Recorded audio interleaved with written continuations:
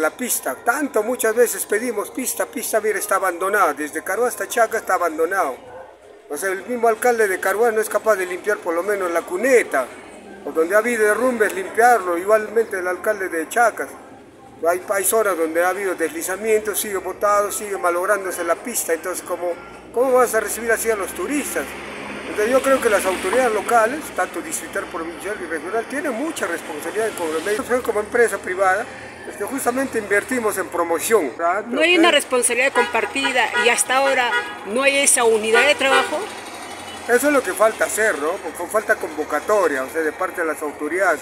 Pero no necesariamente el gobierno. ¿Para qué tienen ustedes una dirección regional de turismo si ahí están sus aliados suyos, no? El director es gente que está vinculada al turismo.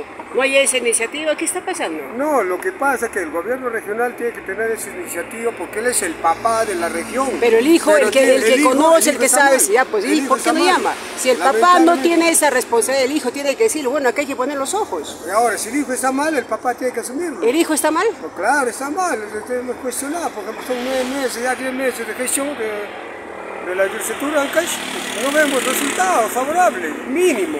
Sin embargo, ellos, pero sin embargo ellos dicen pues que están haciendo muchas cosas buenas. ¿Usted que está vinculado al turismo, es así o no? La verdad que yo no veo nada, nada. Aparte de los operativos que siempre se hacen. Recién no, operativos más, recién hace dos días han hecho un operativo, en todos nueve meses. Ahora, promoción no hay, capacitación para el sector no hay.